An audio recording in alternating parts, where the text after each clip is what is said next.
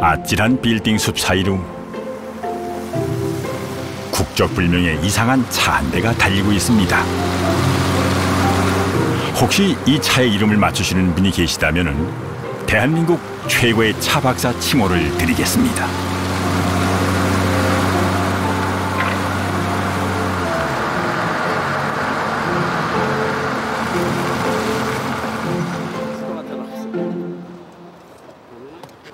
하는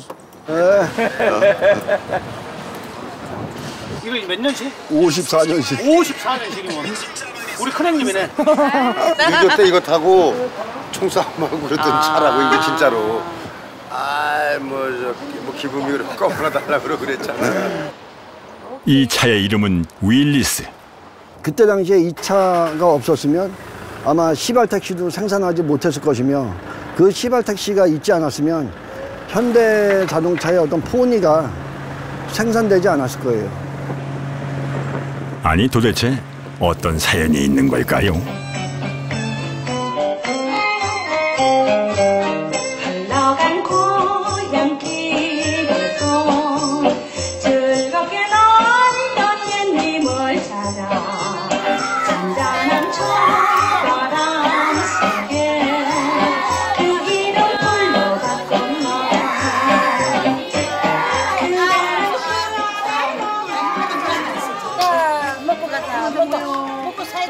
애가 애를 업은 모습.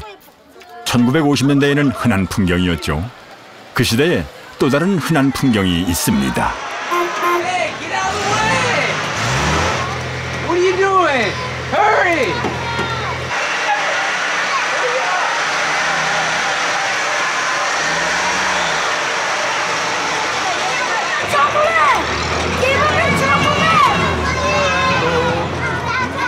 이게 웰리스 집이에요, 이게.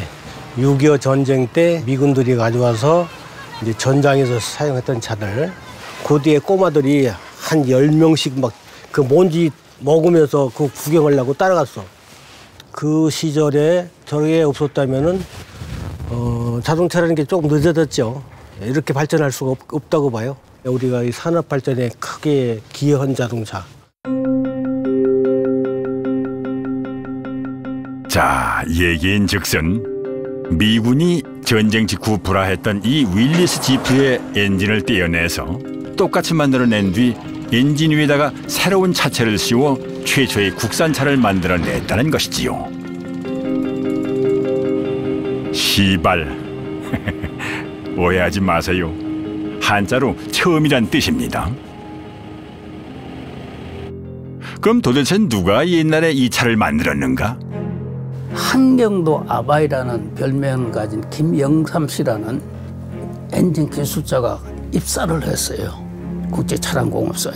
김영삼 씨가 수시로 술 한잔 하든지 만날서 얘기저기 할 때 되면 어, 최무성 씨 최 사장한테 권합니다.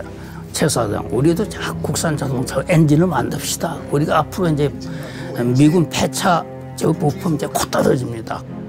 아 엔진은 무슨 얼어 죽을 엔진 베어링 하나도 제대로 못 만드는 판에? 아니 우리가 기술이 있어. 아니면 도구가 있어. 말도 안 되는 소리? 집어치우시오.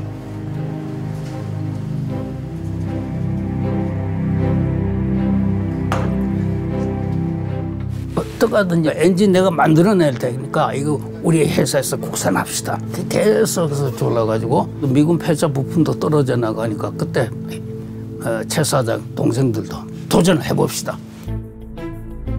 1954년 국제차량공업사라는 정비공장에서 김영삼 씨가 국산차 1호를 만들기 시작합니다. 그는 초등학교 졸업의 학력이지만 일본에서 기계 설계 학원을 다녔고 엔진 공장에서 일을 했던 경험도 있는 당시 최고의 기술자였습니다. 김영삼 씨는 조수들과 함께 차 한 대를 통째로 만들고 있었습니다. 차 외관은 미군 부대 드럼통을 잘라서 나름 디자인을 해서 만들어냈습니다. 자, 그런데 문제는 한 번도 만들어 본 적이 없는 엔진이었습니다. 모래와 시멘트가 혼합된 상자에 미군 지프 엔진을 넣었다 꺼내고 쇳물을 부어 넣습니다. 쇳물이 굳으면 엔진 형태가 나오는데 이 쇳덩어리에 일일이 구멍을 뚫어 엔진 내부 모양을 만드는 것이지요. 한 번도 만들어 본 적이 없는 엔진을 껍데기부터 내부까지 우직하게 하나하나 만들고 있었던 겁니다.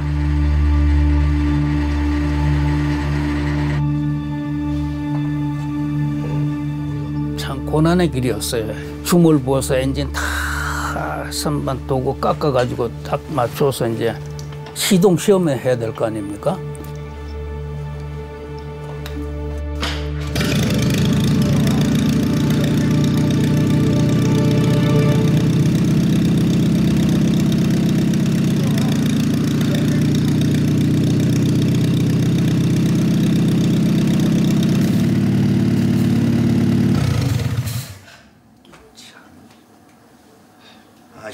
기술도 없으면서 뭔 엔진을 만든다고 그래? 아니 완전히 헛수고한 거 아니야 헛수고? 엔진이 열이 천몇백 도가 올라가거든. 이 쇠가 강도가 견디지 못해서 금이 쫙 가버려. 엔진을 10개까지 파손시킨 거예요. 파손하고 나서 이 양반이 느낀 게, 아, 이 열차리구나. 열을 어느 정도에서 어, 샘을 녹여야 되고 어느 정도서 열처를 해야 되는지 이걸 자꾸 터득하게 된 거예요. 엔진 내부에는 실린더가 왔다 갔다 하는 구멍이 있습니다. 이 구멍 속에서 깨지지 않고 실린더가 수만 번을 왔다 갔다 하려면 쇠가 강해야겠죠. 김영삼 씨는 수십 번의 시행착오를 통해 이 강한 쇠를 얻는 방법을 찾아낸 겁니다. 시동 걸어봐.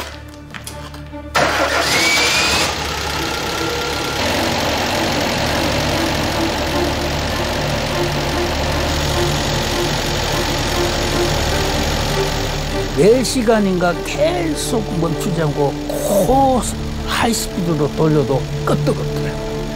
54년 4월 달부터 1년이 걸린 거지. 마지막 11번째 성공을 했어요.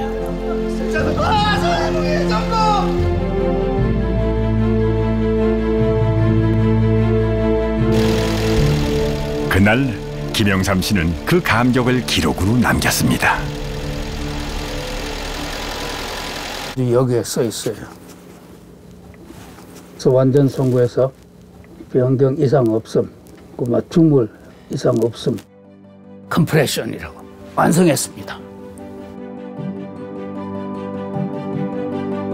시발 지프는 출시되자마자 최고의 스타가 됐습니다. 나라의 최고 높으신 분들도 보러 오고 그 통에 쌀 한 가마니가 7천 원이었던 시절 가격이 8만 원까지 올라갔습니다.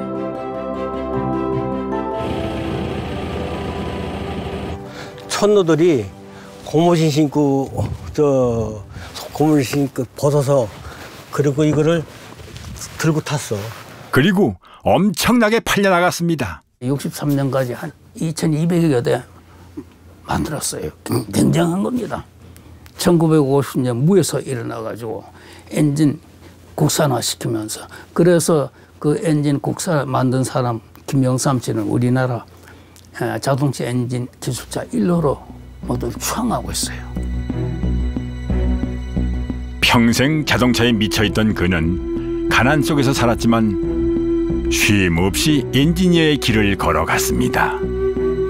시발 엔진에 이어 6기통 엔진을 만들었고 자동 연료 분사 장치도 개발했습니다. 전기 자전거를 마지막으로 그의 존재도 잊혀져 갔습니다.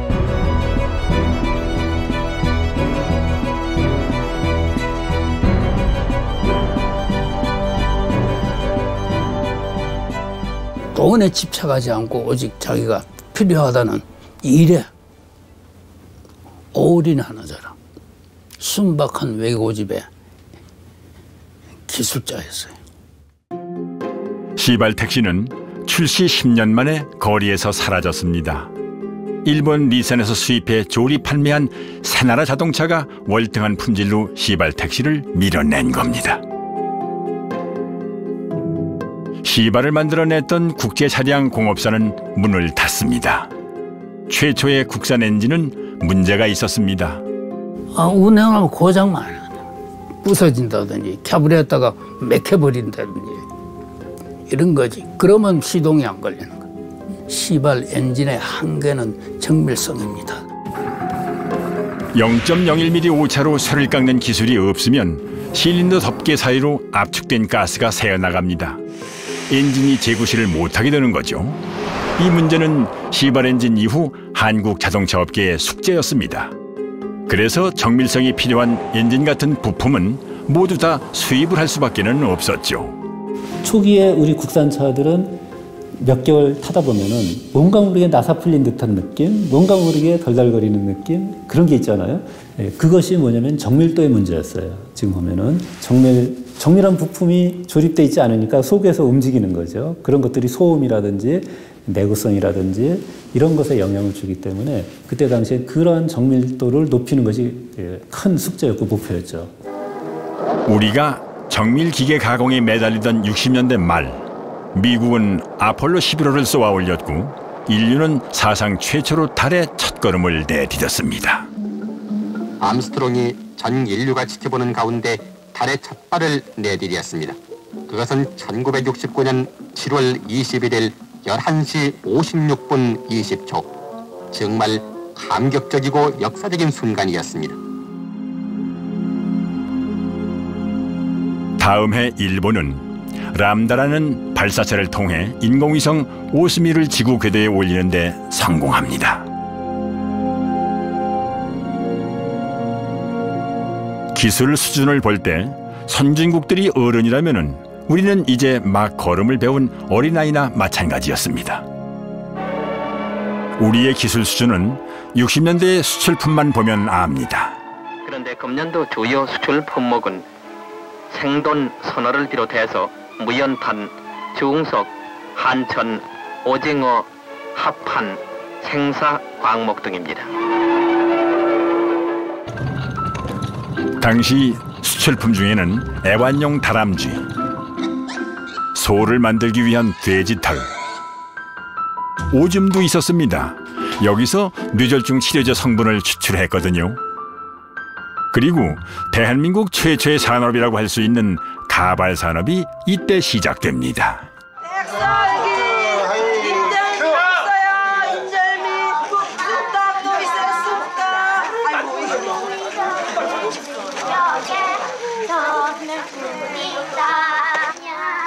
언니 걸렸어?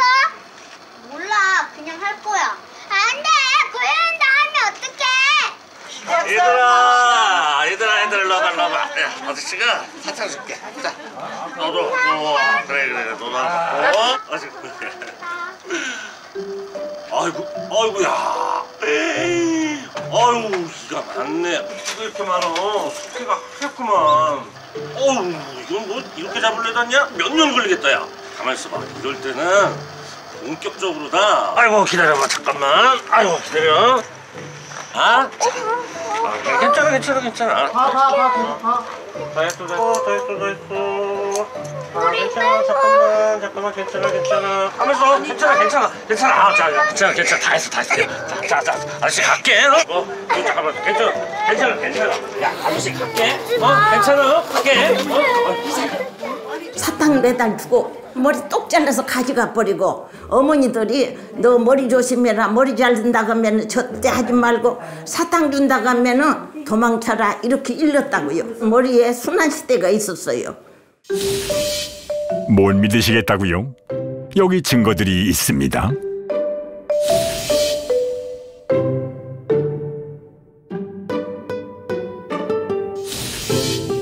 가발업이 호황을 누리면서 머리카락 값이 금값이 되었던 거지요.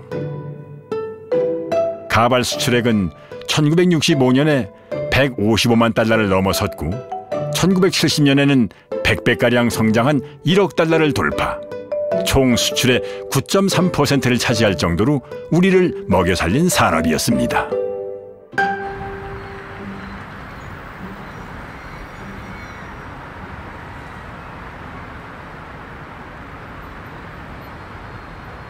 아직도 옛날 방식과 똑같이 가발을 만들고 있는 곳이 몇 군데 남아 있습니다.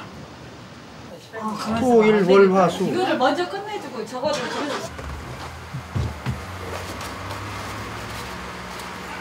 김현두 씨는 10대 때 형님이 하던 가발 공장에서 일을 배운 이래에 아내와 함께 40년째 가발을 만들고 있습니다. 이들은 진짜 머리카락을 써서 가발을 만듭니다. 이게 1kg에 한 200만 원 정도 될 거예요. 1kg. 엄청 비싸네. 지금도 이렇게 머리카락이 귀하잖아요. 예전이나 지금이나 똑같은 것 같아요. 머리카락 귀한 거. 예나 지금이나 가발 만드는 일은 분업화가 되어 있습니다. 남편은 가발에 머리카락을 심는 망사틀을 만듭니다. 그런데 망사틀을 붙이기 위해서 바르는 그러니까 접착제 역할을 하는 화공약품이 보통 독한 게 아닙니다. 아, 좀 냄새가 많이 독하죠. 이 우레탄 자체도 굉장히 독한 거예요. 이게 화공약품인데 저도 이것 때문에 그런지 몰라도 저 15년도에 위암 수술을 했거든요. 저 말고도 그, 저 같이 일하시는 분들도 좀 위염이라든지 위궤양이 좀 많이 생겼어요. 독해가지고. 그래 아이고 아내가 하는 일도 절대로 만만치 않습니다. 제일 큰 문제는 눈이 아프고 시력이 나빠지는 겁니다. 수십만 가닥 머리카락을 한 올 한 올 붙이다 보면 어쩔 수 없이 오는 직업병입니다. 걸렸잖아요. 한번 돌리고 다시 또 한번 엮어서 요즘은 아무리 돈을 줘도 하겠다는 사람이 없어 한국으로 시집온 캄보디아 댁이 이 일을 하고 있습니다. 얼마큼 힘들어? 많이요. 눈물이 자꾸 어, 자꾸 나오고. 나오고 네. 눈도 침침해지고 네, 심심해지고 눈물도 나오고 그렇게 하면 저 신분 가지 마. 가지 말으라 그래. 눈물 흘리고 있으면 시어머니가 일하지. 그렇게 맞죠. 김현두 씨 부부는 가발 공장에서 만나 결혼을 했습니다. 예. 네. 제가 먼저 얘기를 했죠. 사귀자고. 그렇게 된 거예요. 둘 다 가발 만들다 만- 만나신 거죠? 그렇죠. 한 회사에 있었죠. 한 회사. 아침에 일어나서 저녁 8시 반에 일이 끝났으니까요. 엄청 힘들었죠. 시골에서 있어봤자 또 일을 또 못 하잖아요. 돈못 버니까 농사를 져야 되니까. 그래서 서울로 올라오고 그래도 가발 공장에 또 일자리가 많으니까 또 가발 공장으로 몰리고 하는 거예요. 60년대, 70년대는 거의 가발하고 공제 공장이 최고였을 거예요.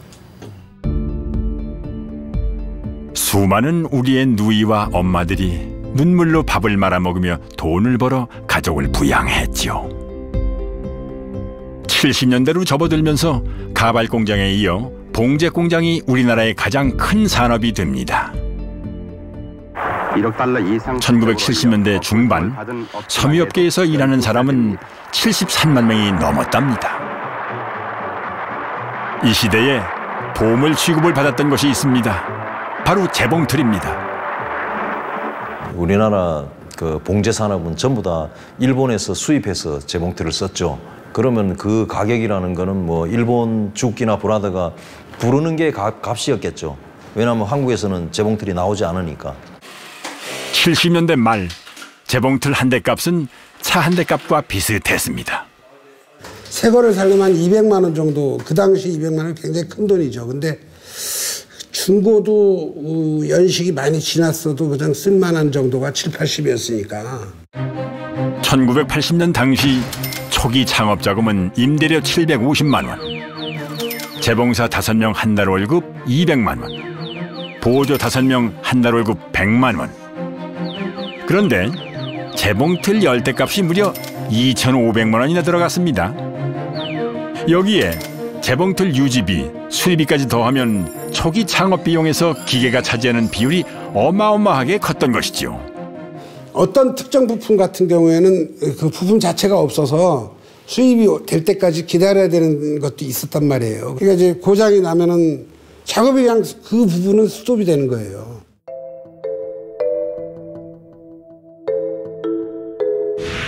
칠 80년대 봉제업체 중에서는 재봉틀이 고장나서 작업이 중단될 경우 일이 줄었다고 월급을 줄이는 곳도 있었습니다.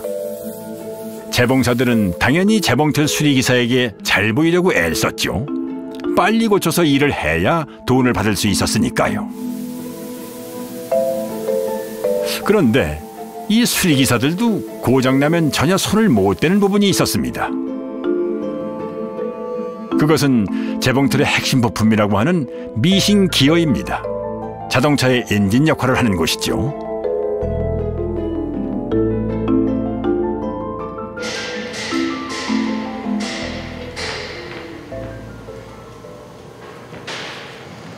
이곳에서는 80년대 초부터 재봉틀 국산화를 시도했습니다. 일본에서 전수 다 가져가서 100%를요. 나서서부터 100%를 다 갖다 여든 조립만 한 거죠. 100% 수입을 하다가 이제 국산화를 시도를 한 거죠. 한국의 기술자들은 의욕적으로 하나씩 하나씩 부품을 국산으로 교체하기 시작했습니다. 그런데 얼마 가지 않아 커다란 벽에 부딪히고 말았습니다. 바로 미신 기어의 핵심 부품인 이놈 때문이었죠.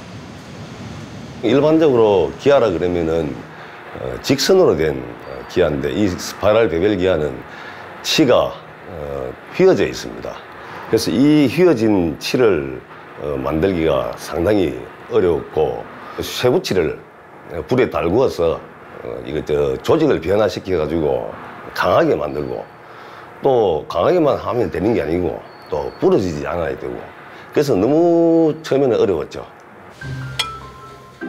재봉틀의 엔진, 미싱 기어를 이루는 것은 발음하기도 까다로운 spiral bevel 기어라는 곡선형의 기어입니다.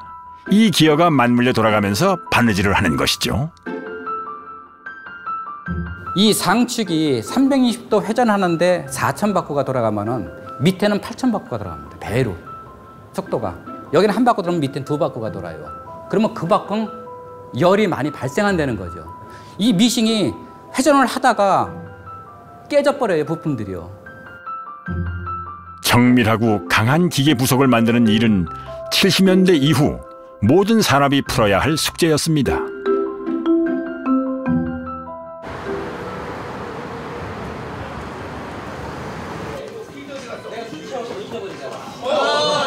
좀 특별한 고교 동창들이 한자리에 모였습니다. 고교 시절 이들은 3년 내내 한솥밥을 먹으면서 같이 자고 같이 생활했습니다. 10명이 그 방에서 뭐 3년간 같이 있었으니까 뭐 형제나 다름없는 그런 관계예요. 수업으로 들어갔는데 대장간이로 가는 거야. 아, 대장간은 고향도 고향구나. 그 당시에. 그리고 내가 그때 수업을 딱 마치고 나와서 야 이거 나 이거 하러 온 건 아닌데. 음, 솔직히 하기 싫었어. 난 기타 치고 노는 거 좋아하고. 그래도 재능이 많아서 그때 기초 가지고 지금 우리가 그 사업도 하고 어, 우리가 그 생활도 하고 그러는 게 많단다. 그러니까 굉장히 중요했던 시기야. 이들은 모두 금호 공고 졸업생들입니다. 1972년 정부는 중화공업 정책을 수행할 기능 인력 양성을 위해 특성화 공업고등학교를 설립했습니다.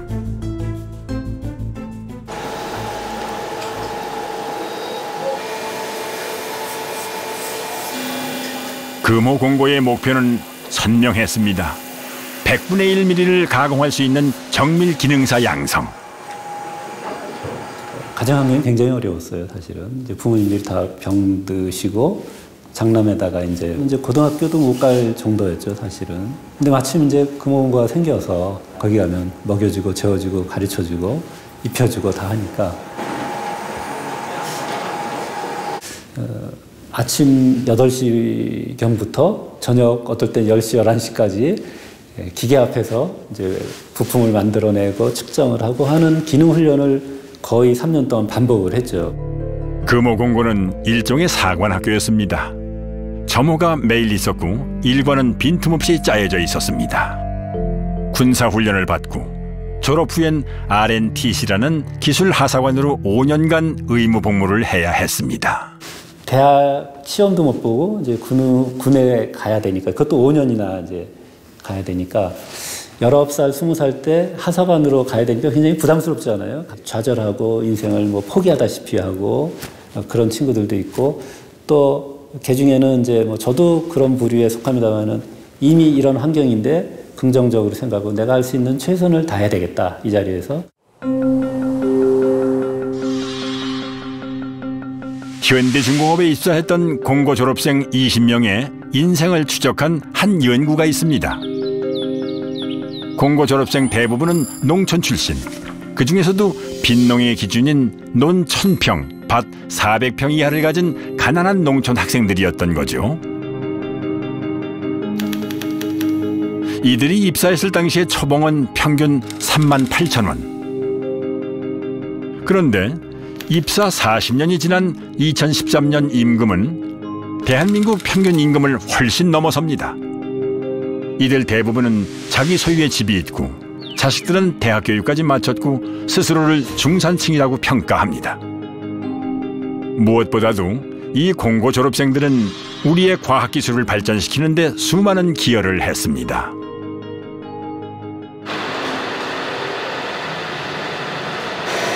공고 졸업생 박시병 씨.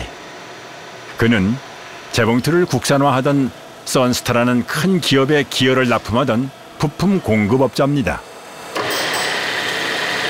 국산화하기가 가장 까다로웠던 미싱 기어 제작을 혼자 도맡았고 그로 인해 숱한 고생담을 만들었습니다.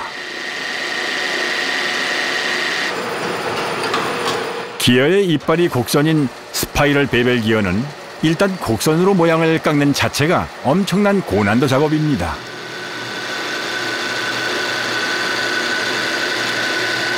어느 위치에서 깎느냐에 따라 기어의 모양이 다 달라집니다. 수없이 깎아서 완벽한 곡선 기어를 만들어내야 합니다. 없다 수천 번은 될 거예요. 기아를 한 가지 아이템 가지고 수천 번은 파봤을 겁니다. 2년 이상 걸린 걸로 기억합니다. 엄청난 스트레스죠. 그래서 막 그 턱이 아파요, 턱이. 이걸 이를 깨물고 항상 이거 압박감을 받는 여유가 없으니까. 또 하나의 문제는 열처리. 쇠가 너무 강하면 부러지고 너무 약하면 기어 이빨이 빠집니다. 이것은 열처리를 통해 결정됩니다. 미신 기어에서 문제없이 돌아가는 탄력이 있으면서도 강한 최적의 강도를 찾아내야 했습니다.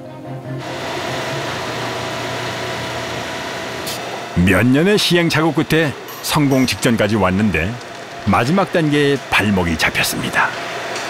그 처음에는 저희들이 그냥 철망에 깔아가지고 그 이제 기어를 흩어놓고 그렇게 열처리 했었는데 그렇게 하다 보니까 뭐 겹치는 부분도 있고 어 그러니까 이제 그 열처리가 뭐 균일하게 안 되는 경우가 있더라고요.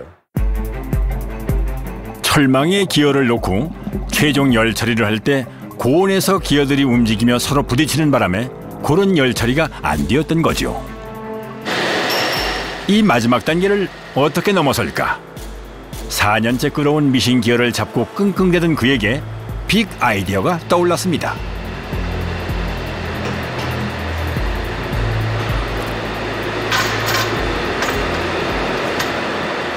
고치 모양으로 기둥을 만든 후 그 기둥에 기어를 끼워 구우면 어떨까? 어디에도 나와 있지 않은 방법이었지만 한번 해보자.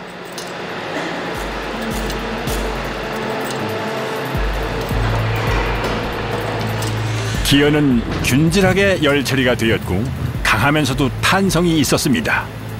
4년 만에 납품받던 업체로부터 합격 판정을 받은 것이죠.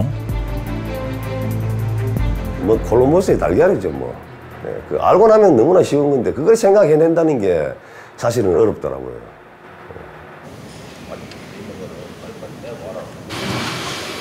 재봉틀의 핵심 부품 미신 기어가 박시병 씨에 의해 공급되자 근 8년 만에 완전 국산화가 이루어졌습니다.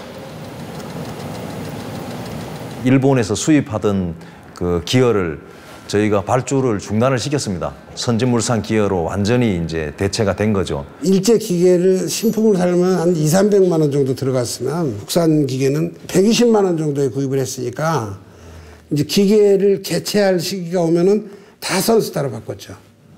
그, 그 순식간에 그냥 모든 기계가 다 일제 기계를 밀어내고 선스타로 다 깔렸었어요. 딸이 어릴 때 아빠는 무슨 일을 하냐 물었을 때 차근차근 설명해 주죠. 어, 이건 톱니바퀴다.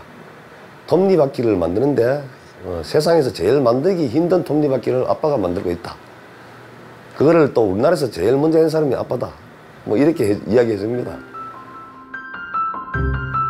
수만 대의 재봉틀이 국산화된 이후에도 아직 핵심 부품은 수입에 의존하던 물건이 있었으니 다름 아닌 볼펜입니다.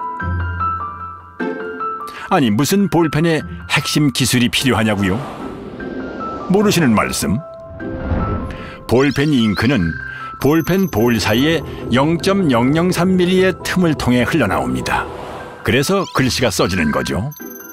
이게 가능하려면 먼저 지름 0.7mm의 초소형 볼펜 볼을 만들어야 합니다.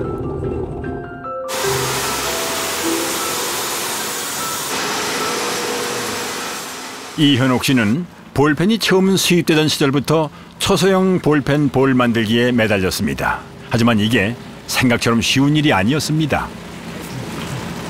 그 일본에서 다 들어왔지. 일본 사람들이 좋은 점도 있지만 나쁜 점 기술을 안 줘. 그러니까 한국을 개발을 못하게 만기는 거야. 죽어도 이걸 물고 늘어져야겠다. 비교적 큰 크기의 구슬을 만드는 것은 그렇게 어렵지 않습니다. 철사를 기계로 조금씩 자른 후 동그란 모양이 되도록 가공하면 됩니다. 큰 거 같으면 기계에서 찍어 나오지만 동그랗게. 이거는 가장 자른 거를 1mm, 1mm에다 사각이 잘라져 갖고 헐쩍이 굴을 내려고 보니까 망치로 그 찍을 수도 없고 하나를 그 작은 걸 깎으려면요. 이걸 손 위에다 올려놓고 깎을 수는 없으니까 장비에다 놓고 깎아야 되는데 그걸 고정도 시켜야 되고 그 작은 부분을 그다음에 깎는 공구도 작아야 됩니다. 내가 머리 센 것도 그때 머리 세고 머리도 다 빠지고 자나깨나 이제 그 생각이지. 요거 될 거냐. 잡기조차 힘든 볼을 도대체 뭘로 깎아야 될까요? 그러던 어느 날 번쩍 아이디어가 떠올랐던 겁니다. 깨알만한 쇠구슬을 깎을 도구를 포기하자. 대신 바람으로 술을 깎을 수는 없을까?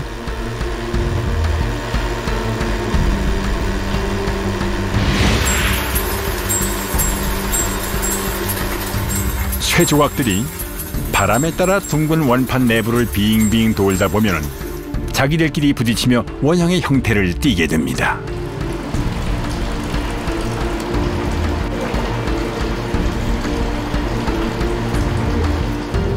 이 구슬을 다시 다른 원심 분리기에 넣고 돌리면 비로소 완벽한 구 형태의 지름 0.7mm짜리 구슬이 얻어지는 것이죠. 이걸 해야 맹길이야. 내가 이거 볼펜다마 0.7짜리 맹길을 갖고 이 내가 살지. 그러니까 이걸 길을 쓰고 온 거지. 고생 말도 못하죠 이 초소형 구슬은 볼펜에만 쓰이는 것이 아니라 자동차 핸들의 핵심 부품이 되기도 합니다. 마찬가지로 자동차 엔진의 spiral bevel 기어는 미싱 기어의 그것과 똑같죠. 산업의 신장이 될 핵심 기술. 대한민국은 또 다른 전환점을 맞이합니다.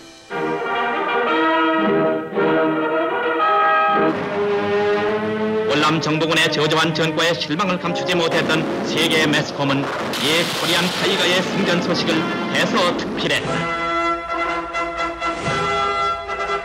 1965년 대한민국 정부는 청룡부대 등 약 1개 여단 규모의 병력을 베트남에 파병합니다. 1966년 미국이 한국에 추가 파병을 요청하자 한국 정부는 파병의 대가를 요구합니다. 이에 미국 정부는 브라운 각서를 통해 군수 협조와 경제 원조를 약속했죠. 우리 젊은이의 희생에 대한 대가로 미국의 자금이 우리나라로 온 것입니다.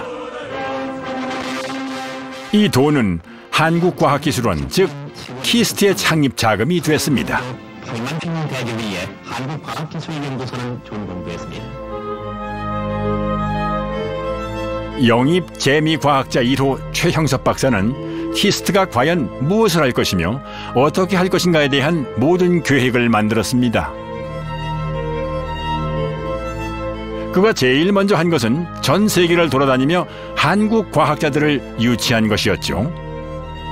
전 세계에 그 있는 유명한 어, 기업체 500여 개를 다니면서 봐서 그 안에 한국 사람이 있나 없나 찾았답니다. 여러분들이 지금 받고 있는 봉급의 3분의 1, 4분의 1 밖에는 안 되겠지만 당신네들이 만약에 KIST로 온다면은 당신네들이 KIST에서 찾아야 할 보람은 내가 어, 여기에서 우리나라 경제 발전에 크게 이바지한다. 그 자부심. 최형섭 박사는 당시로서는 획기적인 개념의 운영안을 내놓았습니다. 모든 연구는 독립체산제로 운영되며 연구를 위한 연구가 아닌 산업체에 도움이 되는 연구를 기업의 돈을 받아서 하겠다는 것, 즉 계약 연구제입니다. 주변에서는 웃기지 말아라. 뭐 1인당 GNP 100불도 안 되는 나라에서 어, 무슨 인프라스트럭처가 있다고 계약을, 계약 연구를 하느냐. 처음에 나도 와가지고 뭐 한 3, 4개월 동안 밤을 못 잤어요. 도대체 계약 연구를 어디 가서 뭘 어떻게 해야 되느냐 하고 이제 고민을 할 그런 단계에 있었습니다. 그러다 보니까 모든 분야의 그 전문가들이 오자마자부터 산업계에 뭐가, 뭐가 필요하냐는 걸 찾으러 다녀야 돼요. 그렇지 않으면 연구가 안 되지 않습니까? 최형섭 박사는 산업에 바로 쓸 수 있는 연구를 한다는 철학으로 연구원들을 독려했고 성과가 나오기 시작했습니다. 1970년 홍삼 가공 기술이 개발되었고 이어 국내 최초의 탁상 계산기 칼라 TV 전자식 전화 교환기 등이 속속 개발되었습니다. 70년대 중소기업이었던 이 회사는 키스트와 공동 연구를 통한 기술 개발을 통해 굴지의 대기업으로 성장합니다. 고온 고압으로 탄소를 인공 다이아몬드로 바꾸는 기술 그리고 겉을 구리로 씌워 전기를 잘 통하게 한 동복 강선 제조 기술이 성장의 비결이었습니다. 동복 강선은 70년대 중반 그리고 이 다이아몬드는 아마 85년도에 이제 키스트하고 같이 공동 개발을 시작을 했거든요. 동복강선을 개발을 시작을 할 때 그때 이제 저희 그룹 매출액이 8억이었는데 그 10년 뒤에 그룹 매출액이 이제 470억으로 거의 그 한 50배 정도 성장을 했거든요. 이렇듯 KIST는 계약 연구를 통해 기업을 성장시켰을 뿐만이 아니라 우리나라 산업의 전체 청사진을 그리고 각 산업의 설계도를 만들기도 했습니다.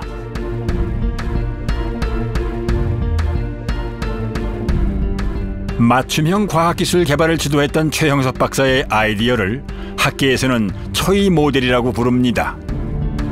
한국 경제 기적의 비밀 중의 하나였죠.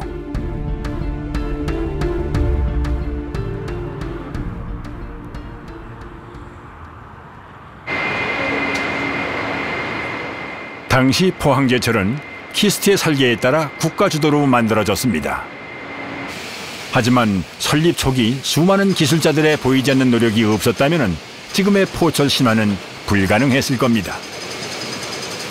그 노력 중의 하나는 쇳물을 만드는 용광로, 즉 고로를 제어하는 기술입니다.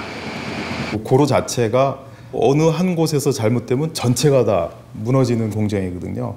용광로가 커지다 보면 밑에서 뜨거운 가스가 올라가고 위에선 찬 장인물이 이렇게 내려오면 열 교환이 돼야 되거든요.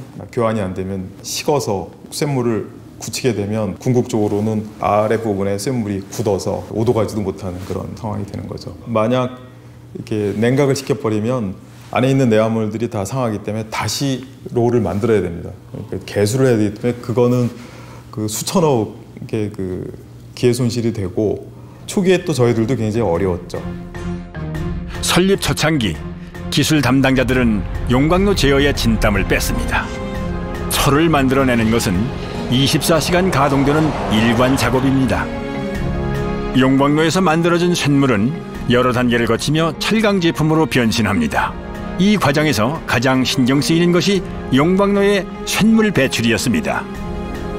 이전에는 철을 만드는 원료인 철광석과 석탄을 함께 떨어뜨리며 쇳물을 만들었습니다.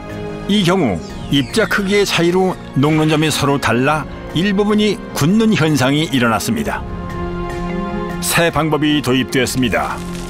재료를 섞어 뿌려서 비중차를 줄이고 내부의 온도를 균질하게 하고 또 산소를 공급해서 내부의 쇳물이 부분적으로 식지 않게 하는 방법 등 모든 기술을 적용해 본 것이죠. 그 기술을 빨리 체득을 해서 가장 경쟁력 있는 이제 고로 기술을 아, 획득하게 된 거죠. 용광로 제어 기술의 확보로 양질의 철강 생산이 가능해졌고 이는 또 다른 산업을 발전시키는 배경이 되었습니다. 그렇게 큰 용광로를 효율적으로 돌릴 수 있는 기술 때문에 그 대규모 철강제를 소비하는 산업들이 그 연쇄적으로 발전을 하게 된 거죠. 그래서 포스코가 그런 값싼 그리고 그 근거리에서 강제를 공급했기 때문에 아마 우리나라 조선 산업이 빠르게 성장을 했을 거고 또 자동차 산업도 그 자동차 외판재의 그 품질이 굉장히 중요한데 고급 판재를 포스코가 상당 부분 그 공급을 했기 때문에 이 산업이 가능했고요. 대한민국 최초의 수출차 포니는 포항제철에서 자동차용 강판을 공급받아 만들어졌습니다.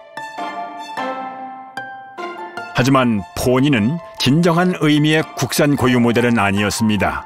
엔진을 모두 일본에서 수입했기 때문입니다. 그 엔진이나 트랜스미션은 전부 미쓰비시의 기술 제휴를 받아서 차량에 탑재를 하고 있을 때예요. 일본에서 쓰던 엔진이기 때문에 첨단 엔진이 아니잖아요. 우선 선진국에 가서 잘 팔 수도 없고 둘째는 제값을 받을 수가 없잖아요. 돈을 못 벌면 R&D 투자를 못 하고 그러면 또 기술 예속이 되고 이렇게 악순환에 빠져 있는 상태였어요.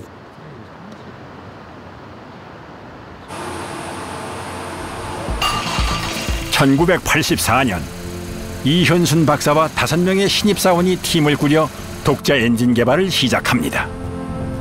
내부 반대가 많아서 아예 내부 입김에서 자유로운 신입사원들만으로 팀을 꾸렸던 것이죠.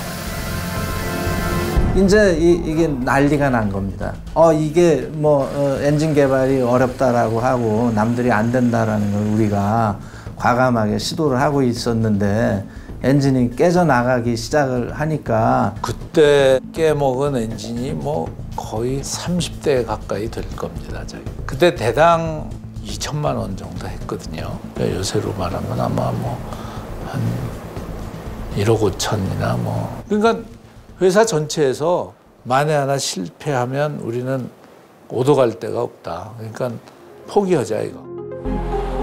엔진 개발이 계속된 것은 최고 경영자의 의지 때문이었습니다.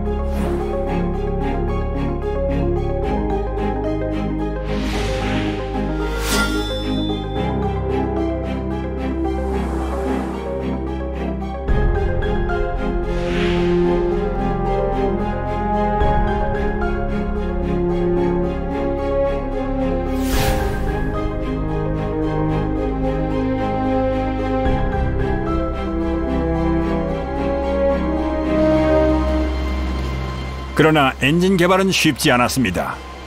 실제 쓸 수 있는 엔진인지를 다각도로 확인하는 엔진 테스트만 무려 6년 넘게 했거든요.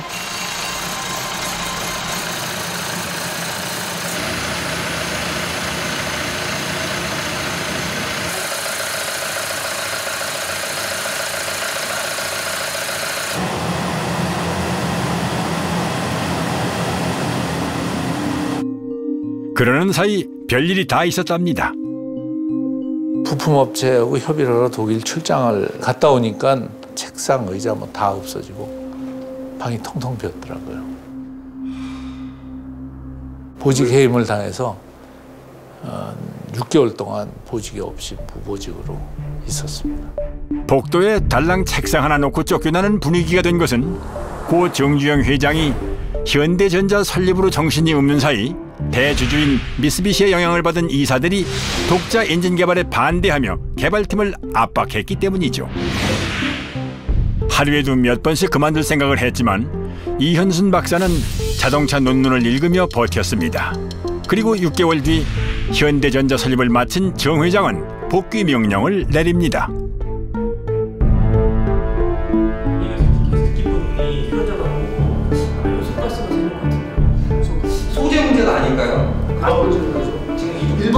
1번이랑 4번 실린더가 문제잖아요. 1번 실린더 여기도 이게 시험이 잘못된 거냐 아니면 설계가 잘못된 거냐 설계가 잘못됐다면 어디가 잘못된 거냐 원인은 한 100가지 되는데 그 중에서 도대체 무엇이냐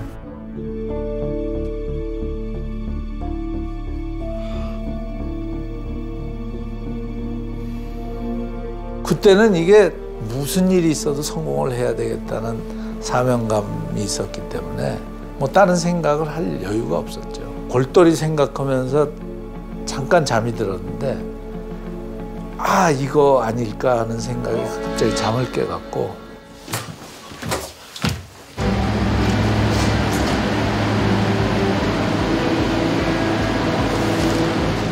헤드 부위에 이 cooling이 잘 안 되는데 도대체 이게 왜 안 될까?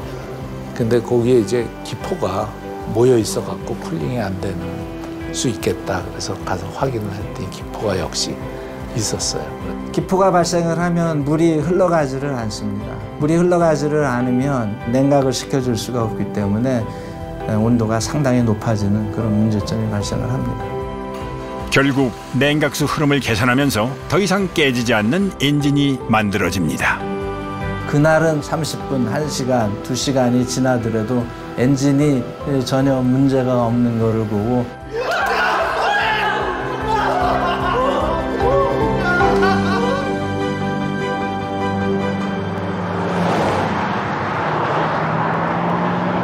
(1991년) 7년 남짓의 시험 개발 끝에 완성된 알파 엔진은 스쿠프라는 차에 최초로 탑재됩니다.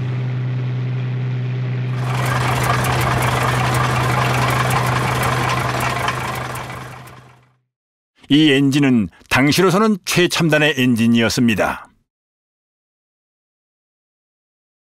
미쓰비시는 그때까지는 계속 우리를 굉장히 밑으로 보고 자기네들의 상대가 아니라고 생각했는데 어느 순간 갑자기 자기네들도 안 갖고 있는 그런 고성능 엔진을 내놓으니까 굉장히 당황해 한 거죠. 구보 회장은 미쓰비시의 엔지니어들을 모두 불렀답니다. 그 일이 실제로 일어났어요. 그 우리가 NF 소나타에 탑재하기 위해서 세타 엔진을 설계를 했는데 그래서 그거를 미쓰비시가 기술 제휴를 해달라고 왔습니다. 그래서 기술 제휴를 해줬어요. 우리가 설계한 엔진을 미쓰비시가 기술 제휴를 받아서 로얄티를 내고 어, 썼죠. 2003년부터. 이후 현대는 세타, 감마 등 더 진보된 엔진을 연속 개발했고 핵심 기술 확보에 맞물려 매출도 급신장하기 시작합니다. 현대 자동차가 올해 100만 번째로 선적하는 독일행 수출 차량입니다. 극심한 내수 부진에도 올해 로얄티도 없이 우리 차에 딱 맞는 엔진을 개발하니까 가격 경쟁력, 품질 경쟁력, 성능 경쟁력이 생기니까 전 세계 시장을 상대로 다 이제 비즈니스를 할수 있는 거고 그리고 그게 자동차에 국한되는 게 아니라 이런 기반 기술을 같이 활용하는 조선 산업이나 항공 산업이나 여타 어, 다양한 공업 기반이 같이 올라가고 발전하는 거죠. 핵심 기술을 확보하면 그 산업은 질적으로 달라집니다.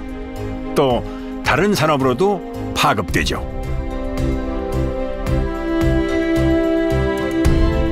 한강의 기적은 이 같은 핵심 기술의 확보가 쌓이고 쌓여 이루어진 연쇄 반응인 것이죠.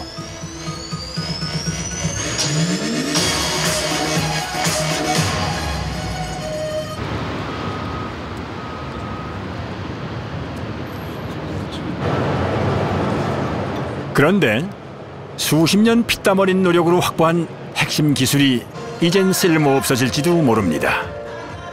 통째로 게임의 규칙이 바뀌고 있는 겁니다. 이제 자동차에 기름으로 가는 옛날식 엔진이 사라지고 있습니다.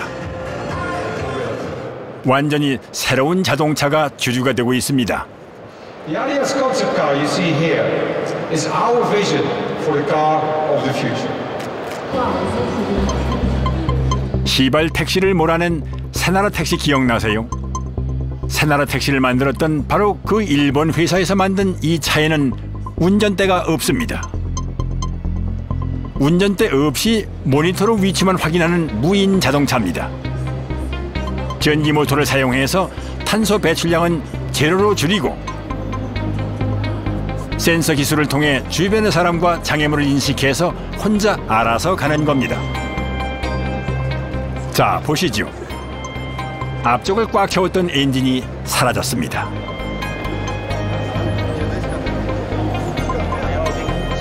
이제 앞으로의 자동차는 기름 대신 수소나 전기를 충전해서 환경 오염이 없이 스스로 알아서 가는 차가 될 겁니다. It is very important for them to be able to demonstrate that through the new technology they can sell cars that not, are not polluting or polluting less, much less than before. 이제 전 세계의 자동차 회사는 새로운 전쟁에 뛰어들었습니다. 그것은 이제까지의 기술 개발과는 전혀 다른 새로운 핵심 기술, 새로운 심장을 확보하려는 전쟁입니다. 그 심장을 가진 자가 다시 새롭게 이 세상을 지배하겠죠.